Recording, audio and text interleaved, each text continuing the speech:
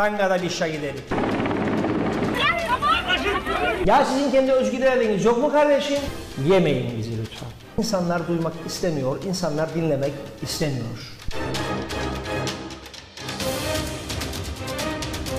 Çocuk olmayın ya. Dünyanın hiçbir yerinde böyle şeyler yok. Hepinizde bir heyecan. Bakan olacaksınız, başbakan olacaksınız, cumhurbaşkanı olacaksınız, milletvekili olacaksınız. Yeneceksiniz ortalığı. Bu memlekette insan olarak bir kıymetiniz yoktu dün. Bugün de yok. Büyük ihtimal yarın da olmayacak.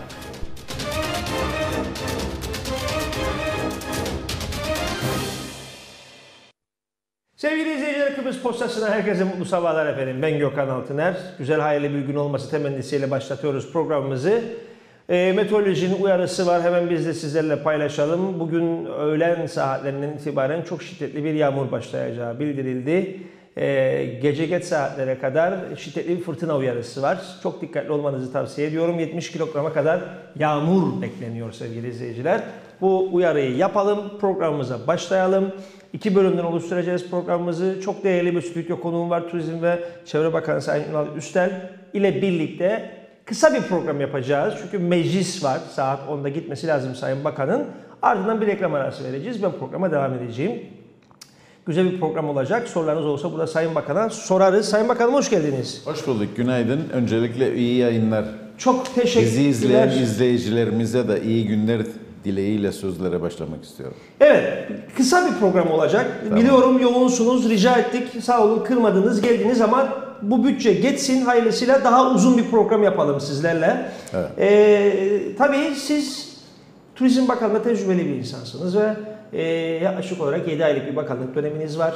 E, çok hızlı girdiniz. E, gidilmeyen birçok e, destinasyonu yeniden aktif hale getirdiniz, başlattınız. E, devam eden projeler var. Onların üzerine yoğunlaşıyorsunuz. E, sizin e, sizi bildiğim bileli en önemli amaçlarınızdan biri de Kuzey Kıbrıs Türk Cumhuriyeti'nde 365 gün turizmi yaymak. E, en son bakanlık döneminizde kış aylarında da otellerde doluluk oranı vardı. E, şu anki doluluk oranları kötü değil. Çalışıyorsunuz ama nedir pazarlarda durum? E, neler var ajandanızda? Buradan girelim programa. E, turist noktasında, kaliteli turist noktasında e, o 365 gün turist seviyesine ulaşabilecek miyiz? Buradan girelim programa. Ondan sonra devam ederiz Evet. konularımıza. Şimdi öncelikle şuna başlayayım. Dün biliyorsunuz Birleşik Milletler'in Dünya İnsan Hakları Günü'ydü. Dolayısıyla biz e, o konuda buradan bir kez daha dün, dünyayla bir şeyi konuşmak istiyoruz. Veya bizi duyarlarsa sesimize kulak vermelerini istiyoruz. Her yere Bir kere bir ada ülkesiyiz ve ada ülkemizin lokomotif sektörü turizm. turizm eşittir ulaşım.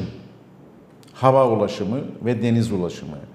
Bize dünya hava ulaşımında ve deniz ulaşımında ambargo uygulamaktadır. Bu çok büyük Bu bir sıkıntı insan haklarına aykırıdır. İsporda ambargo, ekonomide ambargo, ulaşımda ambargo. Nasıl bu Birleşik Milletler'in insan hakları günü olur? Buradan bizi dinleyen önemli. sormak istiyorum ve artık bizim sesimize kurak vermelerini istiyoruz ve en azından İspor'da önümüze atsınlar. Gençlerimiz Avrupa ile diğer ülkelerle buluşabilsinler. Ulaşımda önümüze atsınlar. İnsanların ulaşım haklarını engelleme gibi bir durumları olmaması lazım. Ve bugün insanımız Avrupa'ya gitmek için Anavatan Türkiye Cumhuriyeti'ndeki bir havalimanında uçağını değiştirmek mecburiyetindedir. Büyük. Dolayısıyla bu insanlara bir eziyettir. Bu nasıl insan haklarıdır sormak e, istiyorum. Bunu söyledikten sonra ben sözlerime başlamayacak. Bütün bu şartlar altında, bütün bu izolasyonlar altında, bütün bu ambargolar altında ülkemizde turizm yapıyoruz. Buna rağmen komşumuzun gözü üstümüzde. Avrupa'da bazı şımarık devletlerin gözü üstümüzde. Neden? Kuzey Kıbrıs Türk Cumhuriyeti'nde turistler gitmesin, tatil yapmasın. Ama biz sektör temsilcileriyle birlikte ve bakanlıktaki ekip arkadaşlarımızla birlikte inatla ve ısrarla Avrupa'daki hem fuarlara hem de dijital sistem ile sosyal medyada reklam yapmaya başladık.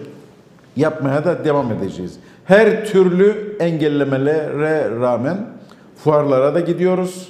Sosyal medyada reklamlarımızı yap- yapıyoruz. Görsel anlamda da televizyonda da reklamlarımızı yapıyoruz, yapmaya da devam edeceğiz.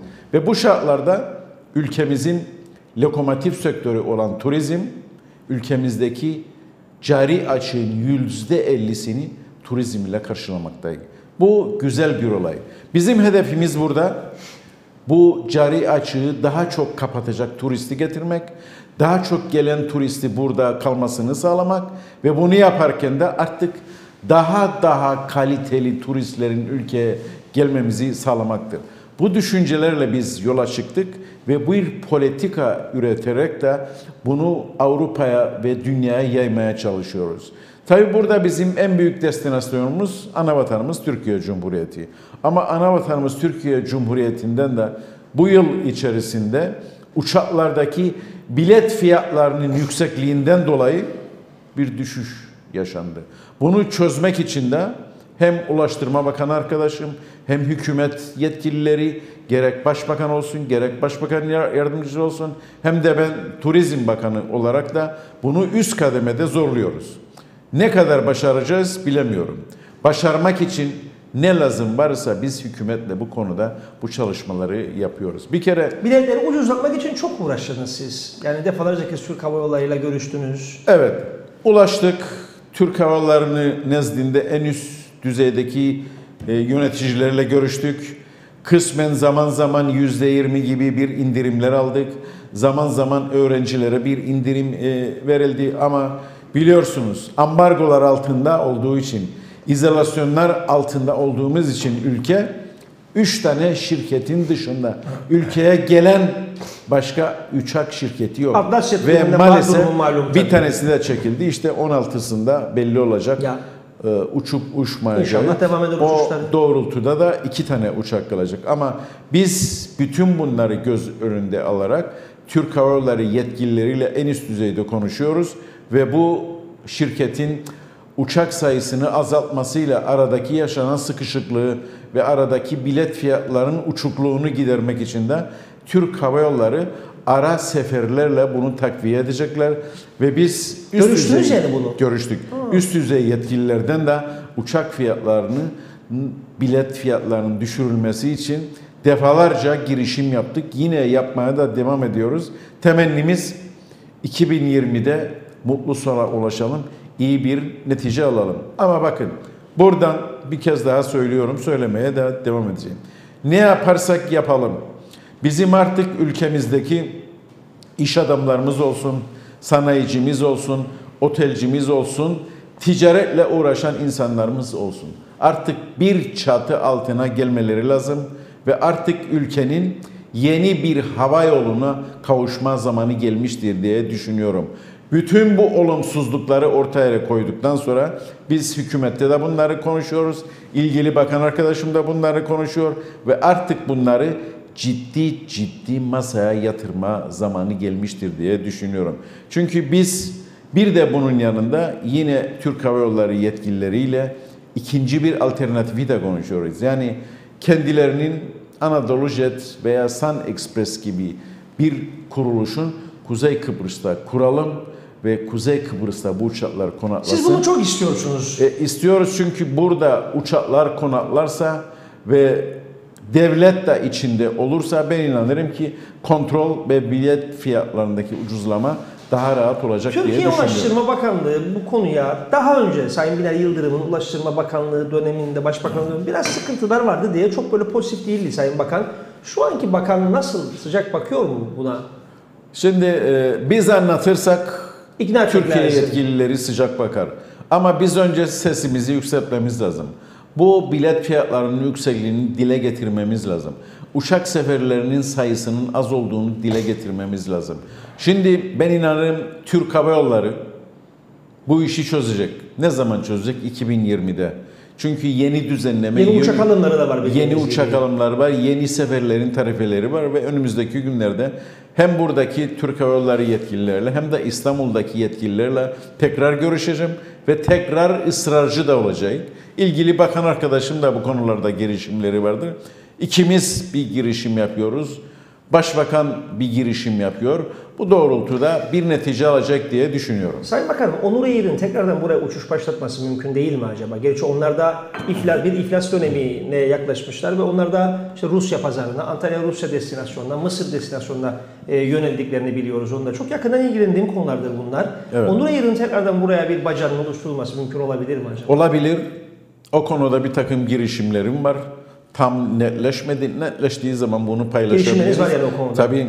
Yani gerekse Onuray'la gerekse Türkiye'deki başka hava taşımacılığı yapan şirketlere de görüşmelerim devam ediyor. Etmeye de devam edecek. İlgili arkadaşım da devam ediyor. Hükümet yetkilileri de devam ediyor. Yani bu işin peşini bırakmadık.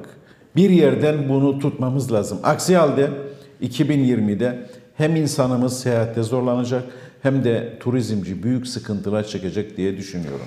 Şimdi e, birkaç konu var. Süremizi de faydalı kullanmak adına. E, İngiltere pazarına çok önem veriyorsunuz.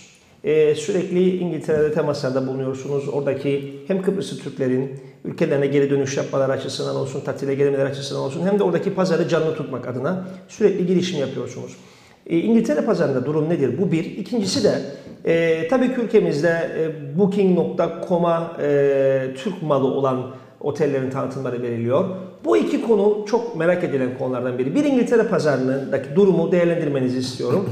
Bir de otellerin daha fazla pazarlanması için Booking.com'la bir şeyler yapılabilir mi Sayın Bakan? Şimdi bakın bir kere İngiltere Krallığı bizim ikinci büyük pazarımız. Evet. Ve oradaki fuara da katıldık. Dijital reklamlarımızı yaptık, yapmaya devam ediyoruz. Görsel anlamdaki reklamlar da devam ediyor. Ve biz bu oradaki payı artırmak için de bir takım girişimlerimiz var. Tabii sıkıntı ulaşım. Ve İngiltere Krallığından Ercan'a gelen bir uçak hangi şirket olursa olsun fark etmez.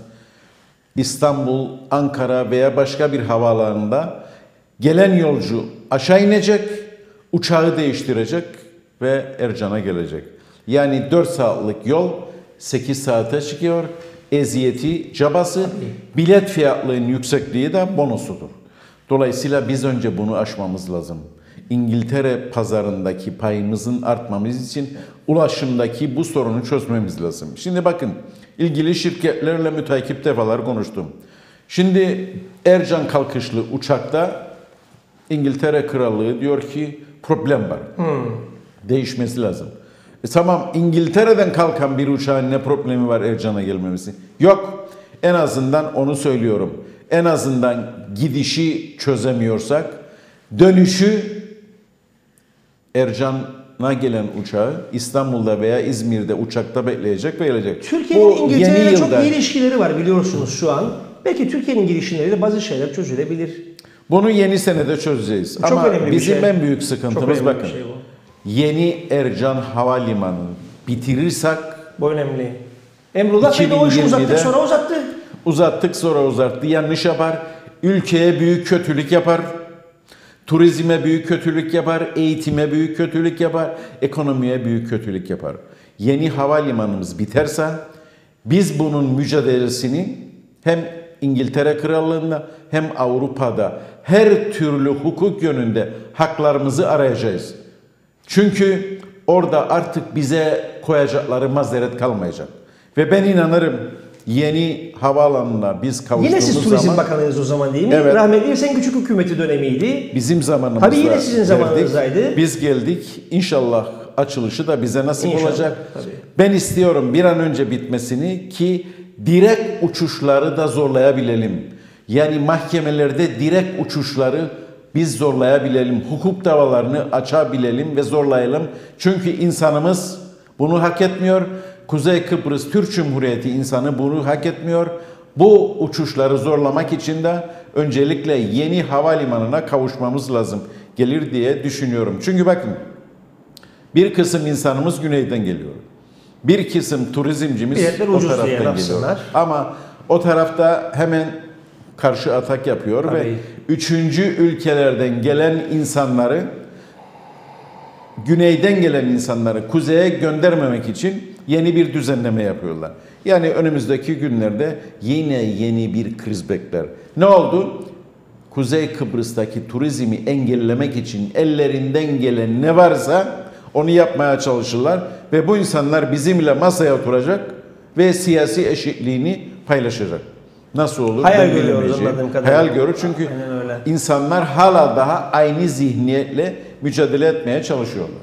Çok enteresan. Şimdi Sayın Bakanım saat 10'a 2-3 dakika var. Ama- Uzatayım yüksek Yok, izleyici uzatma. noktasındayız. Yani yukarı çıktık Uzatmayalım ama da. uzatmayalım gitmeniz Bütçedir lazım. çünkü gitmem lazım. Ee, Başka bir günde ayarlarız. Başka bir günde o zaman buluşalım. Hızlıca herkes bir günaydın diyelim. Sizi izliyorlar çünkü Tabii. izleyicilerimiz. Ee, Selçuk Akmanlar, Durali Güçlü Soy, Mustafa Deniz Gezen, Şakir e, hocamız, Baba Oruç, Mehmet Mene bizleri izliyor. Çalışkan, başarılı, Ünal İşleri Bakanıma günaydınlar olsun demiş. Ahmet İkidereli, Seren Aktunç, Orhan Aslan Çiğdem e, bizleri izliyor. Sema Çetin Nadıç bizleri izliyor. Mesut Kazık adaya giriş çıkışları iki ay kapatın biz de böyle sesimizi duyuralım demiş. Tepki olarak demek istiyor. Simge Yorgancıoğlu bizleri izliyor. İyi yayınlar dilemiş. Çağan Ilgar bizleri izliyor. Fatma Can Bolat bizleri izliyor. Mehmet Kortay bizleri izliyor. Fikret Gencel KTH'ye olsun diyor. Vardı bozdular tekrar kuralım diyor e, izleyiciler. Evet. Keşke sürem olsa soracak çok sorun var size ama e, hakikaten geniş bir program alacağımız olsun. Pazartesi günü bütçeniz var. Herhalde e, sıkıntısız geçecek, gidecek. Yok, yok, sıkıntımız E, yok. 2020'de bütçe herhalde daha rahat olur sizin için inşallah. Büyük bir rahatlama yok ama kısmen rahat. Biz o bütçe çerçeveleri içerisinde de hareketimizi Ama siz zaten Türkiye'deki mevkidaşlarınızla çok sık istişare ediyorsunuz. Para bulursunuz gibime geliyor bana. Sizde o yetenek var. Peki. Çözeriz. Çok teşekkür ediyorum Sayın Ben Bakan. teşekkür ederim Çok çok bu güzel yayınlar için. Çok sağ olun geldiğiniz için. Sevgili izleyiciler Sayın Bakan'ın süresi az. Ee, kısa bir istedim bir, bir konuk gelsin bize. Turizmi konuşalım. Güzel şeyleri de konuşalım ara sıra. Sayın Murat Üstel çok başarılı bir turizm bakanı. Bu konuda çok çok tecrübeli bir insan. Çok da iyi işler yapıyor. Öyle tahmin ediyorum ki ilerleyen e, sürede çok daha iyi işler yapacak. En azından bilgisini, tecrübesini bu noktada iyi kullanıyor. Türkiye ile çok iyi bağları ve ilişkileri var. Ee, bu nedenle öyle tahmin ediyorum ki doğru kapılar doğru çalınırsa daha iyi günlere gideriz inşallah. Bir araya çıkıyoruz Sayın Bakan'ı uğurlayıp ben geri döneceğim.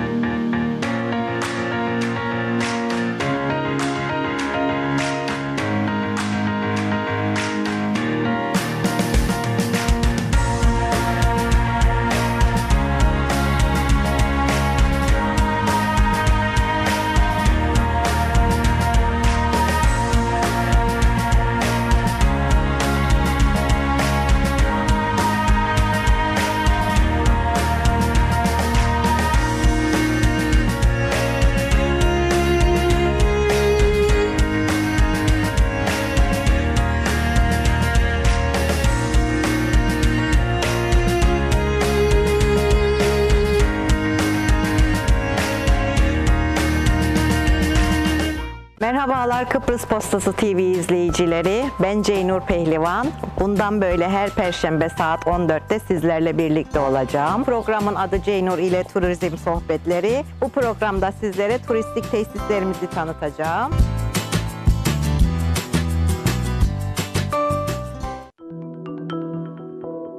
Merhaba. Vakıflar İdaresi olarak Maraş bölgesi mülkiyeti hakkında bazı gerçekleri açıklığa kavuşturmak istiyoruz.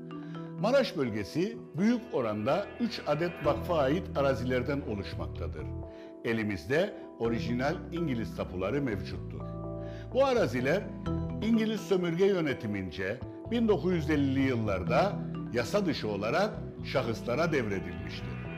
Yasa dışı diyoruz çünkü vakıf mallarının şahıslara devri hem vakıf yasalarına hem İngiliz idaresi yasalarına hem de uluslararası yasalara göre yasa dışı kabul edilmektedir. Bu yasa dışılık arşivimizde bulunan orijinal tapular üzerinde birçok dokümanda belgelenmiştir. Medyada dolaşan Maraş vakıf malı değildir iddiası da bu nedenle gerçek dışıdır. Maraş'ın büyük bir çoğunluğu vakıf malıdır. Bir başka gerçek dışı iddia da İngiliz hükümeti tarafından bu mallara karşılık 1960 yılında 1,5 milyon sterlin ödendiğidir. Bu iddia da yanlıştır. Bu ödeme vakıf mallarına karşılık olarak değil, 1960 Kıbrıs Cumhuriyet Anlaşması'nın Appendix U ekinde açıkça belirtildiği gibi zarar gören okulların, sağlık ocaklarının ve camilerin onarımı için yapılmıştır. Vakıflar insanlığın ortak değeridir. Vakıfların amacı ayrım gözetmeden tüm insanlık için hizmet etmektir. Vakıf malını ele geçirmek, o malı insanlığın hizmetinden çıkarmak ve kişileri zengin etmek demektir. Hangi zaman diliminde kim tarafından yapılmış olursa olsun insanlık suçudur.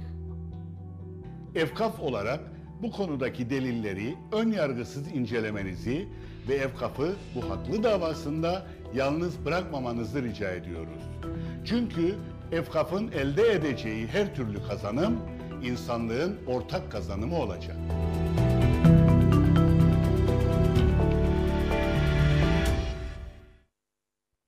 Evet sevgili izleyiciler arayı verdik Sayın Bakan'ı uğurladık. Aslında Sayın Bakan saat 9.30'da yayınımıza girecekti ama tabii Sayın Bakan aynı zamanda geldi bir de gazetemizi ziyaret etti haliyle.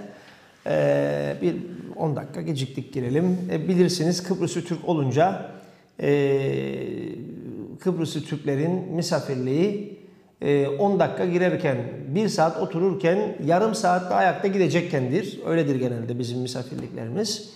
Sayın Bakan'ı uğurladık. Tabii aslında söyleyecek, konuşacak çok önemli konular var turizmle ilgili. Ee, ben çok rica ettim kalsın 10.30'a kadar ama e, bütçeleri devam ediyor bildiğiniz gibi. Tam da bu konuyla ilgili zaten Kıbrıs Postası'nın manşetinde e, önemli bir haber var. Konuşuruz tabii onun da artıları eksileri var ama e, takdir edersiniz ki bu bütçe işi önemli, sıkıntılı. Anlatacaklarım var size hükümetle ilgili. Dün size bir takım araştırmalar yapacağımı söylemiştim. Yaptım da araştırmaları. Ee, önemli şeyler de öğrendim. Hem de böyle en birinci ağızlarla konuştum. Ee, turizmi izledik. Ee, Orhan abimiz zaten e, bu bilet konusunda çok hassas biri. E, hepinize günaydın dedik bu arada. E, mesela Simge Yorgancıoğlu e, arkadaşımız, kendisi de bir turizmci. Bu e, turist konusunu, bilet konusunu çok iyi bilen arkadaşlarımdan biri Simge. Çok da sıkıntıları iyi bilen turizmcilerden biri. Fikret Gencer'in söylediği KTY olsun meselesi aslında KTY olur da olmazdı ama yeni bir havayolu kurulmasını birçok Ulaştırma ve Turizm Bakanı çok istedi. Hala çok istiyorlar onu söyleyeyim size. Fakat bu konuda sevgili izleyiciler Türkiye'nin bir karşı duruşu var ve Türkiye bunun olmasını istemiyor, izin vermiyor. Bunun da sebepleri e, buradaki yapının böyle bir havayolu şirketini idame ettiremeyecek oluşu düşüncesi. Çünkü KTY'nin kurtarılması için çok uğraşıldı bildiğiniz gibi. E, Sayın Türkiye Cumhurbaşkanı o zamanlar başbakanlığı e, çok emek harcadı. Tayyip Bey yani yiğidi öldür hakkını ver derler. Yani o günleri hepimiz iyi biliyoruz. KTY'nin nasıl battığını da iyi bilenler bilir. Ee, yani bu konuda çok çok uğraştı. Tayyip Bey KTY'nin ayakta kalması için buraya ciddi görevlendirmeler yaptı. Ama dönemin e, siyasetçilerinden Mehmet Ali Talat olsun, Dervişeroğlu olsun batırmak için ellerinden geleni yaptılar. İkisi birden bu havayolu şirketini batırdı. Bunu ben size net olarak altını çizebilirim. Kalın e, bir kalemle bu kadar net söylüyorum size. E, o ama yine de yine de keşke yeni bir e, havayolu şirketi kurulsa sevgili izleyiciler. Bizim kendi öz varlığımız olan, kendi malımız olan devletimizin veya buradaki özel e, şirketlerin kuracağı bir şirket olarak keşke kurulsa.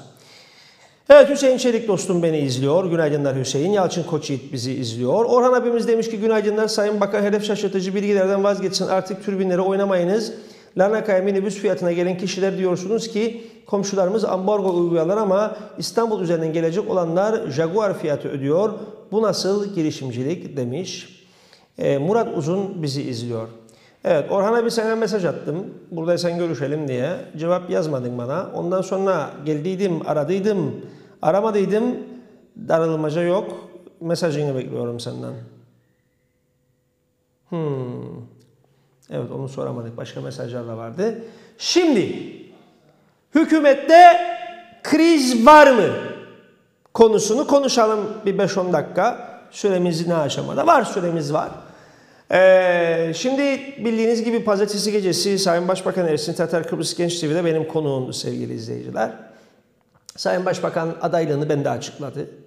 Ee, ama daha önemli bir nokta vardı. Programın sonuna doğru ben kendisine e, hükümette bir kriz olup olmadığını, hükümet ortaya nasıl gittiklerini sordum. Kendisi de bana e, hükümetle ilgili sıkıntılar olduğunu, imar planı ile ilgili sıkıntılar olduğunu, ancak bu sıkıntıların aşılması için uğraştıklarını, çabaladıklarını anlattı. Ee, bunun üzerine dün e, ülke genelinde ağırlıklı olarak Sayın Başbakan'ın Cumhurbaşkanlığı adaylığından ziyade sevgili izleyiciler, e, hükümetin bir krizi olup olmadığı, Ocak 2020'de, Şubat 2020'de yeni bir koalisyon hükümetinin kurulup kurulamayacağı tartışması oldu. Bunun da ötesinde hem Demokrat Parti'den hem Yeniden Doğuş Partisi'nden bazı kaynaklarımız bize Ulusal Birlik Partisi'nin e, aracılarının bu iki partiyle görüştüğünü ve olası bir koalisyon modelini yokladıklarını anlattılar. Ben de size dün dedim ki bu konuyu araştıracağım. Ben bu konuyu araştırdım. Ulusal Birlik Partisi'nde konuşmam gereken çok önemli insanlarla konuştum. Halkın Partisi'ndeki bazı önemli insanlarla konuştum. Size net olarak söyleyebileceğim şu an için durum bu. Aykut da bunu bir başlık atar. Hatta ben konuşurken bir Ersin Tatar bir özel sayı görüntüsü falan atabilirsin ya Aykut aslında. Güzel olur yani bence. Ee, hükümette sıkıntı var. Önce bunu anlayalım. İmar planı konusuyla ilgili bu vatandaşlık vizeleri problemleriyle ilgili hala UBP'nin Halkın Partisi ile ilgili sıkıntıları var. Ama bu kriz noktasında mı derseniz değil. Ve size en azından şu an için yüzde yüz bir bilgi olarak söyleyebileceğim nokta şu. Hükümet bozulmayacak. Ocak 2020'de, Şubat 2020'de kesinlikle UBP, DP, YDP koalisyonu kurulmayacak. Mevcut koalisyon hükümeti devam edecek. Bunu size yüzde yüz bir bilgi olarak aktarıyorum. En güvenilir ağızlardan aktarıyorum bunu size. Bilirsiniz bu hükümetlerin kurulması, bozulması işleri e, ne iyi bilen biriyim ben. İyi takip ediyorum. Bu konuda istihbaratlarım son derece iyidir. Bu konuda yapmış olduğum tüm haberler her zaman doğru çıkmıştır. Çünkü istihbaratlarım son derece iyidir. Ee, ben size diyorsam ki şu an için böyle bir kriz yoktur, yoktur. Ee, UBP-HP koalisyonu bozulmayacak diyorsam bozulmayacak. Ben size bozulacağını da söylerim. Bundan emin olabilirsiniz. Ee, sıkıntılar var ama. Yani Başbakan Ersin Tatar'ın Halkın Partisi'nin genel politikalarından duyduğu bir takım rahatsızlıklar var. Zaman zaman bu Ersin Tatar'ı çok usandıran da durumlar. Zaman zaman havlu atmayı da düşünüyor Ersin Bey. Yani bozmayı da düşünüyor zaman zaman. Geliyor o noktaya e, sinirsel anlamda. Aynı sıkıntılar Halkın Partisi'nde de var. Ama unutmayın ki bu bir koalisyon ortaklığıdır. Bir karı koca evliliğidir. Nasıl ki işte karılar kocalar kavga eder. Koalisyonlarda da bunlar var. Zaman zaman sıkıntılar oluyor. Zaman zaman gerginlikler oluyor. Ee, anlaşmazlıklar oluyor. Bitecek noktaya geliyor. Bitmiyor. Ee, tam evlilikler gibi anlayacağınız üzere. Ee, bu nedenle sevgili dostlar kesinlikle 2020 Nisan'dan önce bir erken seçim yoktur. Kesinlikle 2020 Nisan'dan önce hükümet bozulmayacak. Şu anki durum bu. Ben 7 Ocak 2020'de ne olur bilemem. Ama şu anki durum bu. Onu size net olarak söyleyebilirim. Zaten e, bu Demokrat Parti ve Yeniden Doğuş Partisi ile e, görüşen aracılara baktığımızda ciddi adamlar olmadığını yani koalisyon kurabilme noktasında aracı olabilecek kişiler olmadığını net olarak görüyoruz. Aracıların kim olduğu 3 aşağı 5 yukarı bilgim dahilindedir. Bu konuyu ben UBP'deki üst düzey yetkililerle görüşmüş durumdayım. Aldığım cevap böyle bir şey yok. Böyle aracı falan filan da biz göndermedik. Yani bakın ben en yetkili ağızlarla konuşuyorum bunu. Net söyleyeyim size. Çünkü bu gündem oldu dün ülke genelinde. Bizim Genç TV'deki başbakan olan programımız çok ses getirdi. Ee, yani kriz var mı? Kriz yok, sıkıntı var. Yani e, Halkın Partisi'nin bazı konularda aşırı inatçı davranmasının UBP genelinde yarattığı bir gerginlik var. Bu gerginlikten ötürü e, başbakana tabii ki birçok kimse diyebiliyor.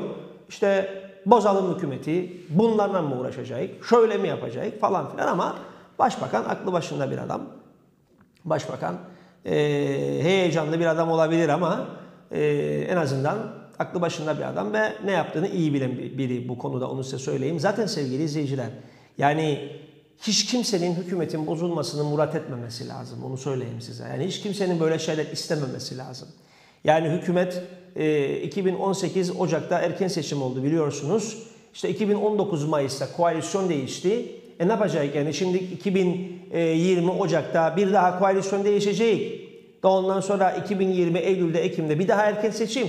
E bu çocuk oyuncağı değil ya. Yani bu memlekete ihanettir bunlar. Yanlış olur böyle şeyler olursa.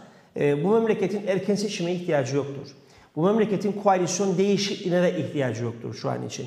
Bu memleketin istikrarlı iş yapacak bir hükümete ihtiyacı vardır. UBP'nin HEP'nin bazı konularda mayası uyuşmayabilir. Orta yolu bulacaklar. Orta yolu bulacaklar. Başka çareleri yoktur.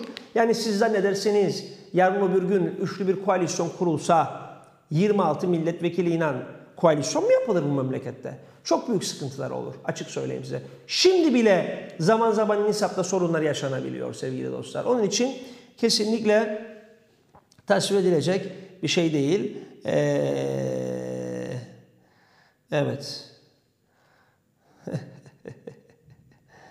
evet. Bir izleyicime bir mesaj yazayım. Evet. Neyse anlayacağınız varsa durum böyle. Sıkıntı var, kriz yok. 2020'de en azından Cumhurbaşkanlığı seçimlerine kadar dostlarım bir koalisyon değişikliği olmayacak. Yani şunu söyleyeyim size UBP'nin böyle bir niyeti yok. Yani Demokrat Parti'den Yeniden Doğuş Partisi etrafa bunu böyle mi yayıyorlar? Yoksa onlara giden aracılar haliyle onları etkiliyor mu? Veya e, böyle bir beklenti mi var? Ama kamuoyunda da böyle bir beklenti yok zaten. Yani kamuoyunda hükümet bozulsun da üçlü koalisyon kurulsun yürümez. Ben size açık söyleyeyim. Dörtlü koalisyon yürümediği gibi üçlü koalisyon da yürümez. Nazı kaprisi çok olur sevgili izleyiciler böyle şeylerin. Aa Yalçın Koçyiğit hala izliyorsa yazsın bakalım Yalçın Koçyiğit biraz bir şeyler bize kendisinin hem bir ayağı Halkın Partisi'ndedir, bir ayağı UBP'dedir. Yalçın abinin yani o da yazsın bir şeyler buraya. Ama ben size net olarak söylüyorum. Ben gerekli üst düzey yerlerle dün yüz yüze görüştüm. Hem HEP'den görüştüm hem UBP'den görüştüm. E, Bunu da yazacağım. Yarına yazar mıyım bilmiyorum. Ya yarına yazarım ya öbür güne yazarım. Belki yarına Sayın Ünal Üstel'i yazarız ama e, net olarak söyleyebilirim ki size e, en azından şimdilik bu yok. Ama yarın öbür gün bir ay sonra, üç ay sonra e, bir şey olur, bir kriz olur ben orasını bilemem. Yani ama şu an için yok. Onu senet olarak söyleyebilirim dostlarım. Evet. Gülsen Ateş bizi izliyor. Günaydın, iyi yayınlar, iyi günler dilerim demiş Gülsen Hanım bize. Cemal Uluçay abimiz bizi izliyor. Fırat Zihni, imar planı ve Cumhurbaşkanlığı konusu sona yaklaştığında hükümet son bulacak demiş. Ee, Fikret İpekçioğlu abimiz günaydın, her an her şey olabilir demiş. Halbuki ne kadar kötü değil mi? Düşünsenize siz. Yani biraz şey gibi bu. Yani e, hani adamın üç tane kardeş var ya da iki tane kardeş var. Babalar ölüyor. Ee, iyi mal bırakıyor babaları bunlara. Ve enteresan bir menfaat kavgasına giriyorlar. Yani o birbirlerinin kardeş olduklarını, aynı evde, aynı mahallede büyüdüklerini, aynı tabaktan yemek yediklerini, beraber çocukken uyuduklarını, kardeş olduklarını unutup korkunç bir menfaat kavgasına tutuş- tutuşuyorlar. Hükümetlerin nedir e, önceliği, görevi? Ülkeye hizmet etmektir. Bunun için aday olurlar, bunun için meclise girerler ve hükümet kurarlar. Bunlar hepsi o hükümet ortağı olduktan sonra ülkeye hizmet etmenin birincil görevleri olduğunu unutuyorlar. Sen aday ol, ben aday olayım. Sen olma, ben olacağım. Sen bana söz verdiydin, vermediydin. Öyle dediydin, böyle dediydin. Onu yapacaktık, bunu yapacaktık. Onu kabul etmem, bunu ya böyle şey olur mu ya? Yani sizin önceliğiniz, tüm siyasi partiler için söylüyorum bunu, siyasette bulunma gerekçeniz, siyasette var olma gerekçeniz nedir? Ülkeye hizmet etmek. E bunlar kendi kişisel menfaatlerini ön plana çıkarırlar. Yani sen aday ol, hayır ben aday olacağım. Eğer bu yasayı kabul etmemi istersen sen de bu yasayı kabul et. Böyle hep pazarlık biliyor musunuz siz bunu? Hep pazarlık. Vakti zamanında Sayın Hüseyin Özgürgün'ün erken seçime gitmesinin en büyük iki nedeni neydi biliyor musunuz siz? Ben biliyorum. Birincisi UBP kabinesinden bazı bakanlarının aşırı kaprisi ve istekleri usanlıydı artık Özgürgün. Bazı bakanlar aşırı kapris yapardı Özgürgün'e ve aşırı talepleri vardı bazı konularda. İkincisi Demokrat Parti'nin Serdar Denktaş'ın aşırı alverleri. Bunu kabul edersen ben de bunu kabul ederim. Bunu kabul etmezsen ben de bunu yapmam. Bak ben bunu istiyorum. Bunu sen kabul et, bunu da ben kabul edeyim. Bundan usanmıştı Hüseyin Bey. Ben çok iyi hatırlıyorum. Yazdım da bu konuda ben kaç tane yazı yazdım. Ve dedi ki ben sizi mi çekeceğim be? Giderim erken seçime. Ne haliniz varsa da görün dedi. Gitti. Ondan sonra film tabii istediği gibi sarmadı. O ayrı konu. E, o başka bir şey ama e, durumlar böyle. Tabii Kıbrıs Postası'nın bir de manşetine bakalım sevgili izleyiciler. Fazla veren bütçe 3 gün, delik deşik bütçe 10 gün. E tabii bu son derece önemli bir manşet bizim gazetemizin manşeti. Güney Kıbrıs'ın 2020 yılı bütçesi hem KKTC bütçesinin yaklaşık 8 katı büyüklüğünde hem de meclisteki görüşme süresi KKTC'nin 10 günlük maratonuna karşılık sadece 3 gün dedi gazete. KKTC bütçesiyle aynı gün başlayan Güney Kıbrıs bütçesi bugün Temsilciler Meclisi'nden geçecek. Üstüne üstlük 700 milyon euro fazla vermesi öngörülüyor. Tabii unutmamak gereken bir şey var. Nüfusları bizden çok fazla baktığınızda vatandaş anlamında. De jure de facto farklı biliyorsunuz. Ee, 800 kusur bin nüfusları var. Bizim bilmiyorum kaç herhalde 300 bin de bizimdir vatandaş olan ne bileyim ben 180-190 bin e, seçmenimiz olduğuna göre e işte 12 ile çarpsanız 3 ile çarpsanız bizde de herhalde bir 350-400 bin nüfusumuz vardır diye tahmin ediyorum. Bilmiyorum ki yani şimdi ne söylesem sallama olacak. Ama neticede ekonomisi elbette ki bizden daha iyi bir ülke. Bu bir gerçek. Doğru yönetiliyor, iyi yönetiliyor. E, yani Güney Kıbrıs Rum yönetimi KKTC'den gat gat iyi yönetilen bir e, ülke. Gat gat iyi yönetilen bir e, toplum var orada. E tabi tanınmış durumdalar. Bize gelen turistlerle onlara giden turistleri kıyasladığımızda e, yani kıyas kabul etmez. Korkunç bir turist e, e, kalabalıkları var. E, destinasyonları çok ucuz. Yani birçok Avrupa ülkesine e, veya Avrupa ülkesinden buraya bir sürü insan çok ucuza gidip gelebiliyor falan filan. E, yardımları çok alıyorlar çünkü tüm ülke adına Bizim adımıza da yardım alıyorlar onlar. Ona baktığınızda bunlar çok konuşulmuyor. Çünkü bütün ülkenin adına e, orada bulunuyorlar bir yerde. E, o nedenle elbette ki onların bütçesinin artı vermesi normal. Onu söylemek lazım. Bunlarda bir ara öyle bir para vardı. Yunanistan'a 50 milyar euro yardım ettiler de hatırlar mısınız? Düşünün biz Türkiye'ye 50 milyar TL yardım edelim. Öyle zengin olalım bunun içindeki Türkiye'ye biz para gönderelim.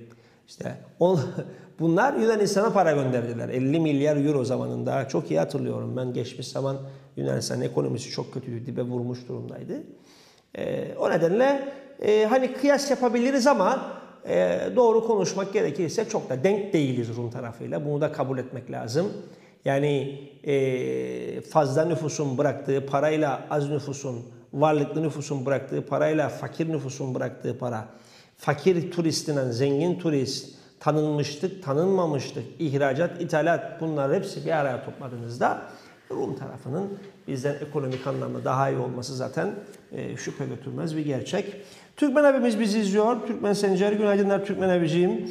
Günaydın, kış bastırdı, iyi giyinin. Siz tamam olursanız etrafınız da tamam olur demiş. Doğru söylüyor. Hastalık kaparsanız da grip olursunuz, herkese satarsınız o hastalığı. Şimdi bugün programa girişte söyledim konuşamadık bakanın çok vakti yoktu diye ama e, bugün e, meteorolojiye göre çok büyük bir fırtına bekleniyor sevgili izleyiciler. Bunu size net olarak söylemek ihtiyacı hissediyorum. Özellikle e, saat yani e, 11-12 gibi veya şu sıralar veya öğlene doğru başlayacak olan bir yağmur var ve akşam saat 5'e doğru e, çok şiddetlenmesi bekleniyor sevgili izleyiciler. Ve bu gece e, özellikle e, Kıbrıs'ın e, genelinde e, hatta böyle şeyden de bir bakayım sizinle konuşurken e, hava radarına da bir bakayım telefonumdan belki Aykut'a veririz ve Aykut bunda yayınlar. E, çok şiddetli bir e, fırtına bekleniyor. Belli yerlere 21 ile 50 kilogram, belli yerlere de 70 kilogram yağmur düşmesi bekleniyor sevgili izleyiciler. Bilirsiniz bizim meteoroloji çoğu zaman tutturamaz hiçbir şeyi. E, fırtına kopacak der, güneş taş yakar, güneş taş yakacak der, alır götürür ortalığı yağmur. Hatta böyle sevgili dostum e, Aykut'a belki e, bunun görüntüsünü bir atabiliriz. Bilmiyorum Aykut'ta keşke görüntü olsa da yayınlasa ama böyle bir screenshot alacağım. Alamadım. Bir screenshot alacağım sevgili izleyiciler. Aykut size ülkemizin üzerindeki bulutları bir göstersin. Evet. Atıyorum yönetmenimize. Yönetmenimiz atabilirse bunu ekrana e, görürüz falan filan. Şimdi bir dakika. Çok da sağlıklı olmayabilir bu görüntü ama e, evet. Aykut'cuğum bunu verebilirsen iki gözüm benim. E, tabii bunlar ücretsiz hava programları sevgili izleyiciler. Altlarında bir sürü reklam çıkıyor. Onun için mazur görün. Öyle bir iki reklam reklam görürseniz bu şeylerin e, fotoğrafın altında mazur görün. Evet. Haberler böyle sevgili dostlarım. E, yine Kıbrıs Postası'nın ya çocukları bakınız işte şu an ülkemizin etkisi altında bulunan e, ortam bu dostlarım. Önümüzdeki birkaç saat içerisinde e, Kıbrıs'ın durumu bu. E, bu gördüğünüz kırmızılar, aşırı kırmızı görünmesi bunlar çok yüklü yağmur dolu fırtına bulutları. Böyle koyu renk olduğunda fırtına anlamına geliyor sevgili izleyiciler. Yunanistan ve Ege Denizi üzerinden zaten gelmeye de devam ediyor. E, dün kuzeyden Suriye tarafından e, yağmurlar, yağmur bulutları geliyordu. Baktığımda ben hava radarına. E, bugün de Ege Denizi üzerinden, Yunanistan üzerinden geliyor. Onun için oldukça yağışlı bir gün bekliyor bizi. Dikkatli olun. Niye dikkatli olun? Çünkü bir sene önce bugünlerde insanlar öldü yollarda. Ondan söylüyorum size. Yani bir seneden sonra e, bugüne geldiğimizde bir şey değişmedi memlekette. Veya çok fazla bir şey değişmedi. O nedenle lütfen arabalarınızı dikkatli kullanın. Bizim memlekette sağlam yağmur 2-3 saatten fazla yağdı mı her taraf yıkılmaya dökülmeye başlar. Zaten Karpaz bölgesinde bayağı şeyler varmış, e, sıkıntılar varmış. Aykut öyle bir görüntü var mı ya bizde? Karpaz bölgesinde çok yağmur sel oldu falan gibi bir görüntü var mı bizde? Yok. Haberini duydum sadece ben bunun. Oralara daha fazla yağmur alıyor diye sevgili dostlar. Onun için dikkatli olun. Bu uyarıyı da yapalım size. Niye yapıyorum? Çünkü geçtiğimiz sene insanlar öldü. Ondan bu uyarıyı sizlere yapıyorum. Yine Kıbrıs Postası'nın sür manşetine bakıyoruz. Ya çocukları cezaevine atıp kaybedeceğiz ya da kazanacağız diye Sayın Hasan Karavukçu'nun bir e, haberi var, açıklaması var Nadire Bahadi e, arkadaşımıza. Denetimli serbestlik yasası verileri yasanın işleyişi ve uyuşturucudan kurtulmak isteyenler için ışık tutuyor. 21 Mayıs 2019 tarihine kadar yasadan yaralanan 320 kişiden 113'ü süreci başarılı tamamladı. 103'ü ise süreçte başarısız oldu. Başbakanlık Uyuşturucu ile Mücadele Komisyonu Başkanı Hasan Karaokçu ise ya çocukları cezaevlerine atıp kaybedeceğiz ya da kazanacağız. Yasanın işleyişindeki mevcut eksiklikler bağımlı çocukların suçu değil demiş Hasan abimiz. Evet, Tatar Rus medyasına konuştu. Birleşmeyi kabul etmeyiz diye bir başka haber var sevgili izleyiciler. Evet, Hakan Hayat da bizi izliyor. Ee, geç katıldı programımıza ama katıldı en azından. Hüseyin Çelik dedi ki değerli altınlar KKTC'de vergi toplama sistemi maalesef adil ve yeteli değil. Bizde yatırım yapan haklıdır ve biz ülkenizde yatırım yapan ve istihdam sağlayan işverenlere vergi kaçıranlarına göz yuman bir politika yürüttüğümüz için ülke olamadık. Güney Kıbrıs ile aramızdaki fark bu demiş. Evet. E tabi bu vergilendirme politikası bizim ülkemizde yanlış yapılıyor. Bu bir gerçek. Havalis gazetesinin manşetine bakalım bir. Aşı krizi sevgili izleyiciler. Sağlık Bakanlığı aşılama krizi yaşıyor. Bakanlığın orta eğitimdeki kız çocuklara yönelik başlattığı HPV, Human Papilloma Virüs aşı kampanyasından ki çok önemli bir aşı bu. Çocuklarını yararlandırmak isteyen aileler aşı yok gerekçesiyle geri gönderiliyor. Dün meclise uğradım. Karşılaştık Sağlık Bakanı'yla. Ee, tabii Sağlık Bakanı bana küs konuşmuyor. Zanneder ki çok umurundadır bana küstü ya da küsmedi Sağlık Bakanı. Ama görüyor musunuz siz?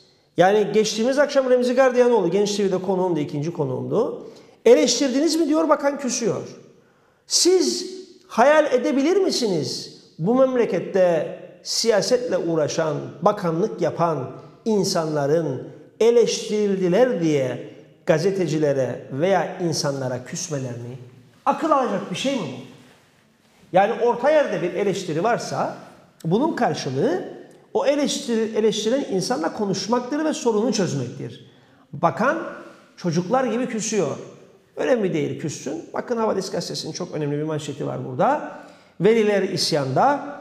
Aşı krizi velilere isyan noktasına getirdi. Bazı ebeveynler yaşadıklarını sosyal medya paylaşımı ile kamuoyuna duyurdu. Sistem çöktü. İnsan yerine konulmuyoruz. Doktor, hasta, okul yönetimi, veli, ebeveyn, çocuk karşı karşıya getiriliyor şeklinde paylaşımlar yapan veliler KKTC sağlık sistemini eleştiriliyor. Duvara tosladı deniliyor. Orta eğitimdeki kız çocuklarına yönelik başlatılan HPV aşı kampanyası duvara tosladı.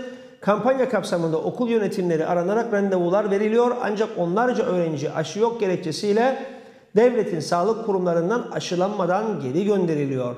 Her gün yeni bir vaka aşı olacakları gerekçesiyle önceki gün İskele Sağlık Ocağı'na çağrılan Erenköy Lisesi öğrencileri aşı yok gerekçesiyle okullarına geri gönderildi. Benzer bir durum Lefkoşa'da tren yolu polikliniğinde yaşandı diyor gazete. Gerçekten Sayın Faiz Sucuoğlu'nun dönemini arıyor Sağlık Bakanlığı.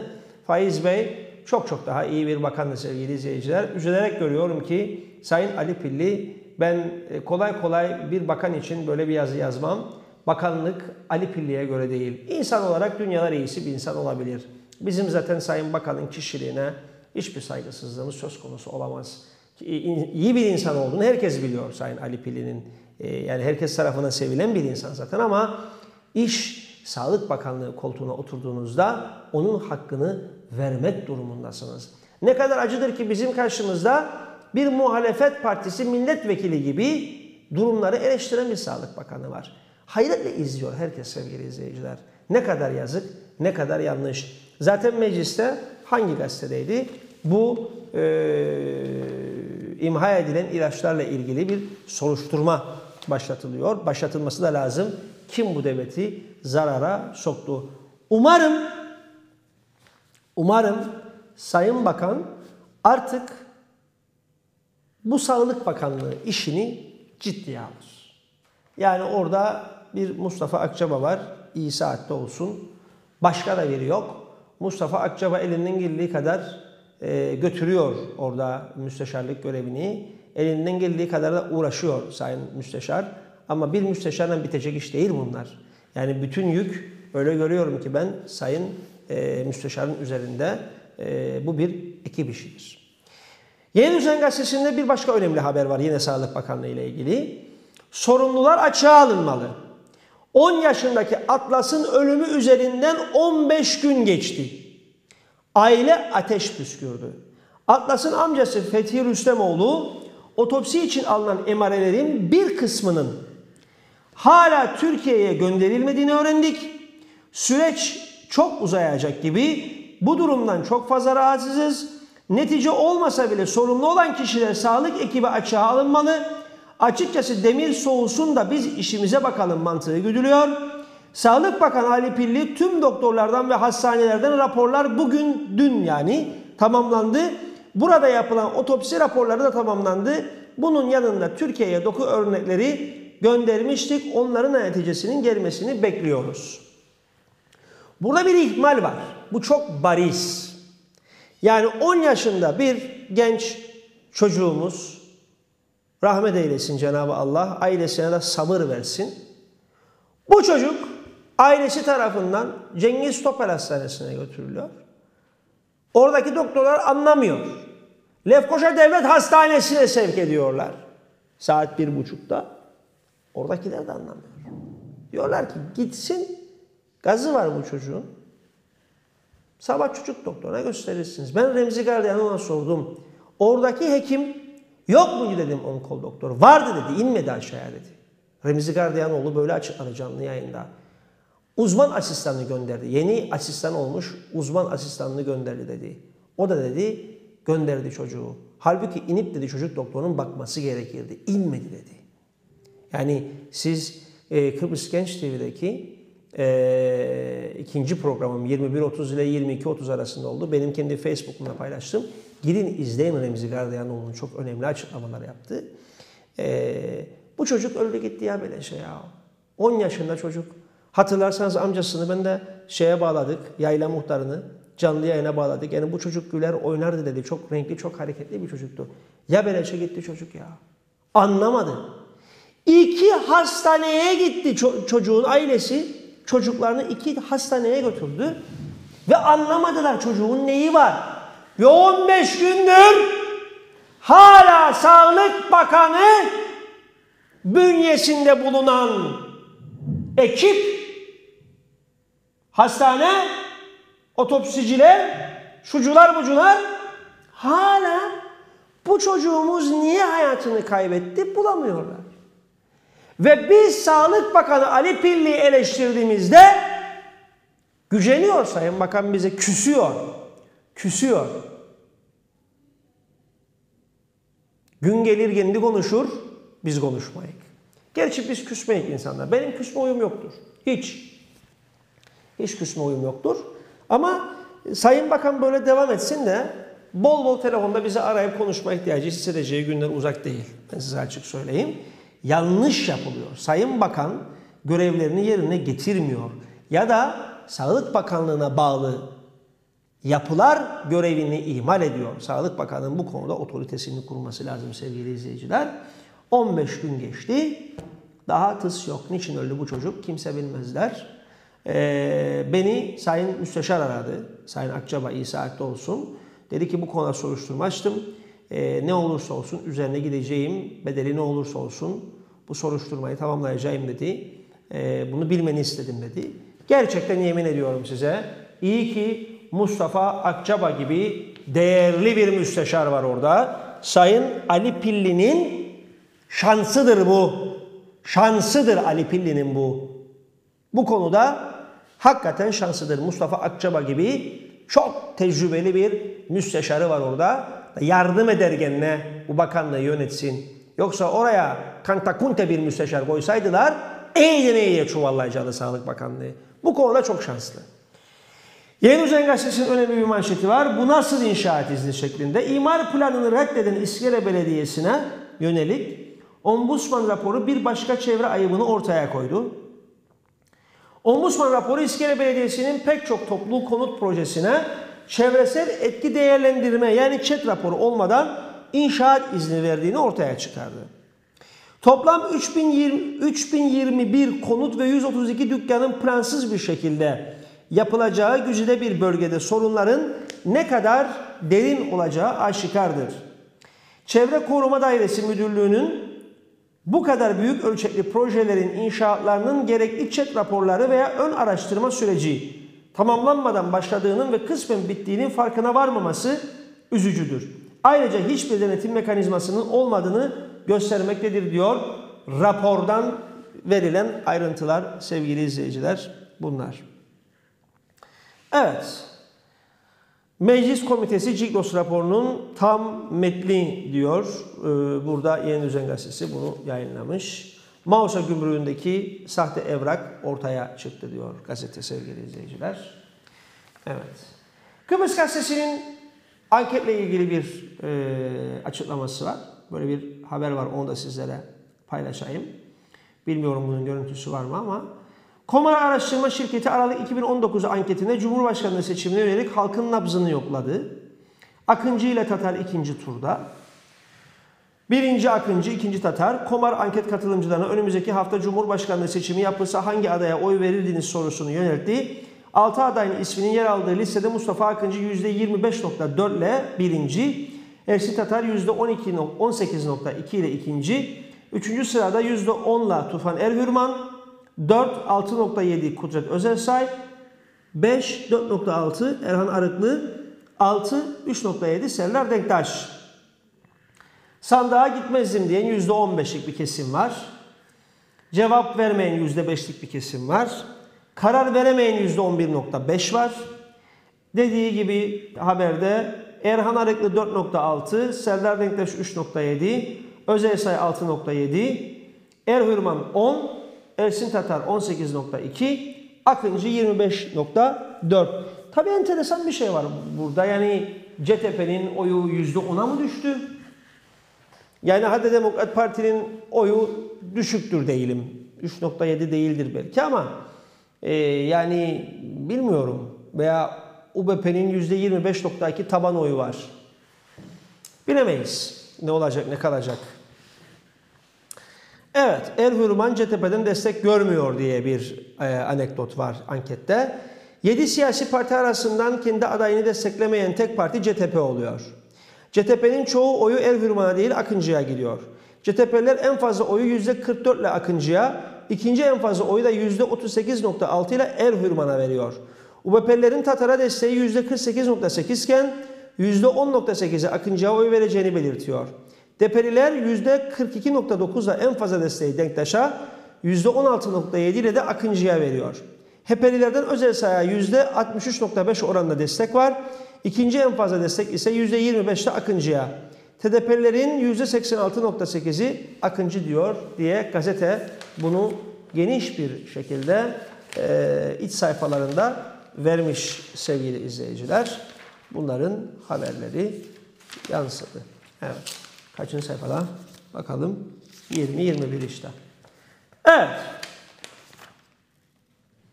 Uzun uzun veriliyor burada anket sonuçları. Hani size bir şeyler paylaşayım bundan diye baktım ama ee, ilçe ilçe verilmiş sevgili izleyiciler. Mesela şöyle okuyayım size. İlginizi çeker diye düşünüyorum. Ondan sonra ağır ağır programı toparlayacağız. Önümüzdeki hafta sonu Cumhurbaşkanı seçimi yapılsa ve size sayacağım kişiler aday olsa oy tercihiniz hangi yönde olur diyor okuduk zaten. Sayın Mustafa Akıncı 25.4, Sayın Ersin Tatar 18.2. Bir başka soru var. İkinci tura Mustafa Akıncı ile Ersin Tatar kalsa oyunuzu kime verirdiniz? Sorusu var. %37.2 ile Mustafa Akıncı, %35.4 ile Ersin Tatar, sandığa gitmezdim 18.4, karar vermedim %9. Yani Tatar'la Akıncı'yı çok yakın yakına tutuyorlar burada. Burada tabii ilçe ilçe de verilmiş bu sorunun karşılığı. Yani ikinci tura Mustafa Akıncı ile Ersin Tatar kalsa oyunuzu kime verirdiniz sorusu. Mesela Lefkoşa'da 40.5 ile Akıncı önde. 36 puanla Sayın Tatar. Arada 4,5 puan bir fark var. Lefkoşa'da Sayın Akıncı 4,5 puan önde.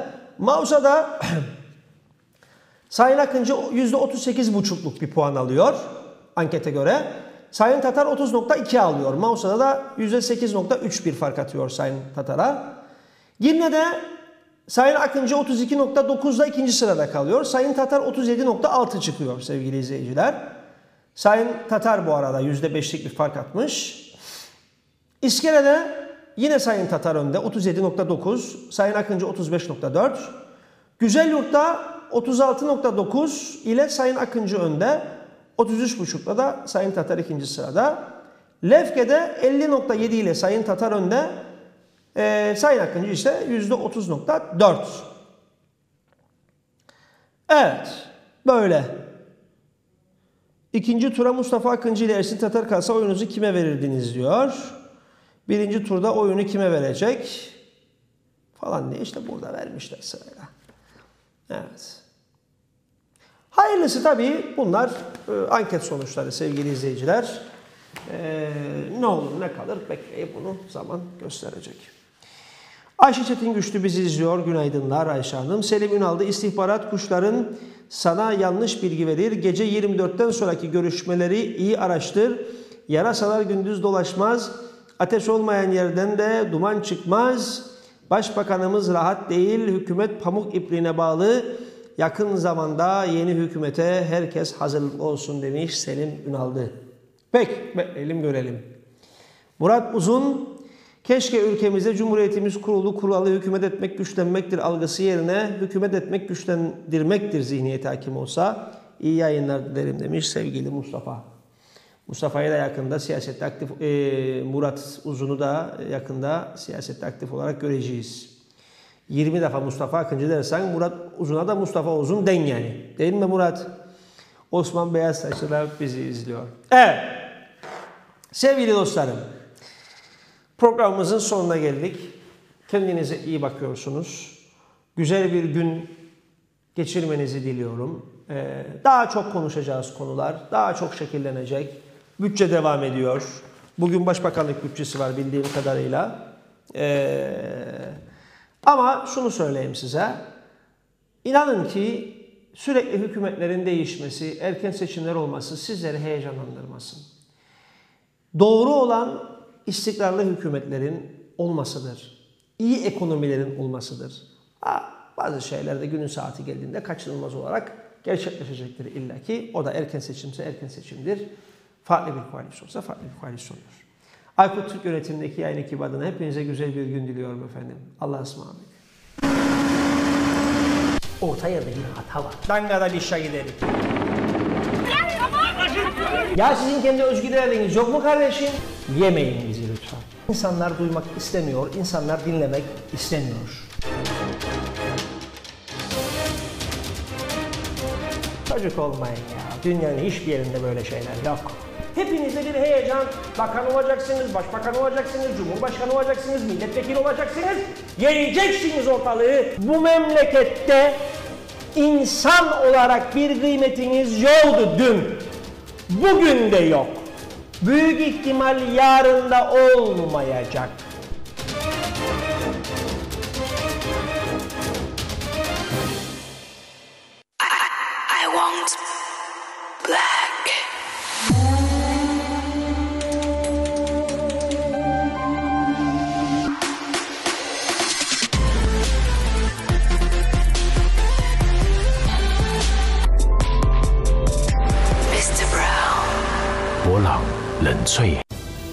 Olay yerinde olduk.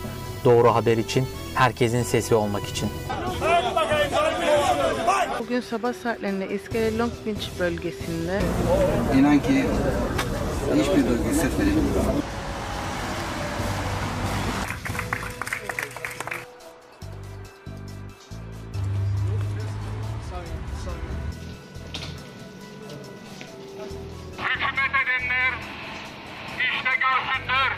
Girne kapısı daki bölgede de restorasyon çalışmaları devam edecek.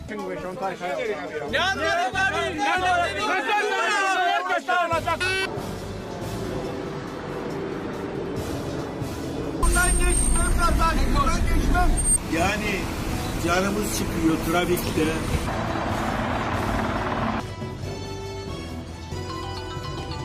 Yeni nesil habercilik anlayışını sizinle buluşturduk. Haberin merkezi olduk. hepimizin menfaatine olacaktır. Tabii ki 101. değerlendirmeyi de yaparız. Komitemiz e, bu e, araştırmaya e, başladığı zaman sendika yönetim kurulu olağanüstü toplantıya çağırdım. Maalesef çok üzücü bir olay. Bir e, kardeşimizi kaybettik, genç kardeşimizi. Kalıcı e, iş yapabilecek bir hükümete ihtiyaç var. Haberi takip ettik, yorum yaptık. Sizinle üzüldük, sizinle heyecanlandık. Evet İrfan Batu Cumhuriyet Meclisi'nde ortam oldukça gergin. Kuzey Kıbrıs bugün e, Küçük Atlas'ın ölümüyle sarsıldı. Gelişmelerin ambiyan takipçisi olacağız. Bugün Girne'de e, maalesef e, istemediğimiz bir olay yaşandı. Çok e, kritik günlerden geçiyoruz aslında söylemem gerekirse. Şu anda New York'ta, e, Manhattan'da Bugün de e, gelen yolcu kısmında yaşanan sorunlarla ilgili Konuyla ilgili e, ayrıntıları Kıbrıs Postası olarak takip etmeye devam edeceğiz. Evet İrfan Batu söz sende. Saatler 18'i gösterdiğinde yine yaşamın içindeki ayrıntılarla karşınızda olmayı umut ediyoruz. Arkamıza 18 yıllık bir tecrübeyi aldık, mesleğimize sığındık. Kıbrıs Postası TV ana haber 1 yaşında.